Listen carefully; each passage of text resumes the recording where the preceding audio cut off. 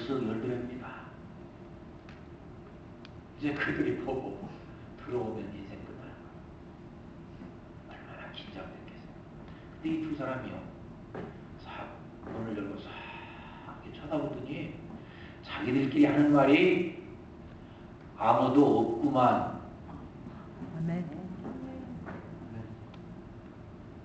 못 들으셨어요? 하려면 아멘을 맞춰서 화끈하게 크게 하시든지 아니면 말든지. 다시 한번. 네, 다시 한번. 다 쳐다보더니 아무도 없구만. 역시 여러분들 훌륭하십니다. 그러더래요. 안 보이고. 그러더니 가버렸습니다. 얼마나 극적인 장면이 성경도 드라마틱하지만 하나님의 사람들의 삶도요 거의 대부분 그런 dramatic experience를 다 가지고 있습니다. 극적인 순간의 경험을 예배를 다 마쳤습니다. 그리고 나서 이제 그 다음날 다시 출발합니다. 하나님 감사합니다. 이제 저희들 또 출발합니다. 하나님을 지하고 갑니다 가고 또 가고 또 가고 가니까요 드디어 38선이 나왔어요. 38선이 지나가서 저나마 눈태각해야 됩니다. 그런데요 38선 지나다 보니까 어저께 살겠다고 그 아우성을 치던 그 남자 이곳이라요?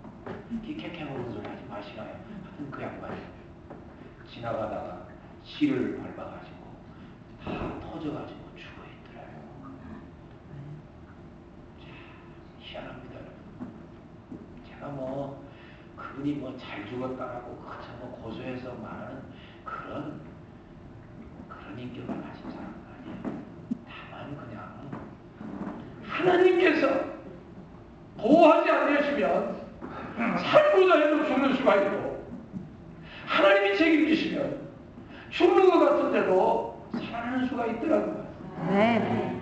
하나님은 우리 민족을 민족적으로 훈련하신다고 저는 믿습니다. 저는 피라델피아 성도교회를 심호할 때도요, 제가 참 좋아하고 존경하는 기도 많이 하는 그 저 권사님 성함도 노아의 노아 아마 바꿨다 그러대요. 황노아 권사님. 당신네들도 일단에 우리가 38선을 지나가야 되는데 애기명으로 가지고 어떻게 자기들을 숨길 수가 없대요. 달래고 오르고 달래고 오르고 야단치고 우중하고 도무지 애기가 듣지 못해요. 38선을 지키는 인민군에게 걸리면 끌만한데 기도했답니다. 하나님 저희들 아시죠? 예우로 가지고서 저희가 밤중에 몰래 지나가고 38선을 넘어가려고 해도 들키면 우리 끝장입니다. 하나님 저희들 좀 도와주세요. 아이를 어떻게 울음을 그치게 할 방법이 없습니다. 주님. 저희들 좀 크게 여기시고 좀 살려주십시오. 어떻게 뭐 방법이 없으니까. 하나님께 이렇게 간절히 간절히 기도했는데 아이를 그렇게 울던 녀석이요. 38선을 가까이 와가지고 지나가는데 딱 그 치고 차더래요. 아멘. 저는요 그런저런 이야기 많이 들었어요. 우리 민족이 어려움이 많고 슬픔이 많았지만 그런 가운데 지나면서 하나님이 은혜를 주시고 하나님이 붙들어주시고 하나님이 기적을 체험하게 하시고 하나님이 그 약한 믿음을 붙들어서 강하게 하셨음을 저는 수없이 들었습니다. 그래서 지금도 그런 이야기를 들으면은요 역사를 뭐꼭 전공해서보다도 귀가 번쩍 뜨이고 눈물이 나고 하나님이 우리 민족을 이렇게 훈련하신 이유가 어디 있을까? 어디 있을까? 우리에게 무엇을 기대하셨기에 하나님이 이 기가 막힌 경험을 수없이 하게 하셨을까? 생각하는 때가 자주 있어요. 주님을 사랑하시는 여러분, 하나님 앞에서 살면 하나님이 인생 책임지시고 귀하게 써주시는 것을 믿으시기를 다시 한번 축원해 드립니다. 꼭 요셉이 훌륭해서가 아니에요. 물론 훌륭하죠.